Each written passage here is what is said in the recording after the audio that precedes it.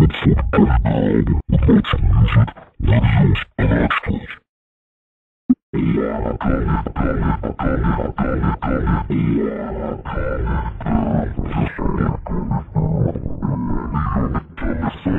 Yeah,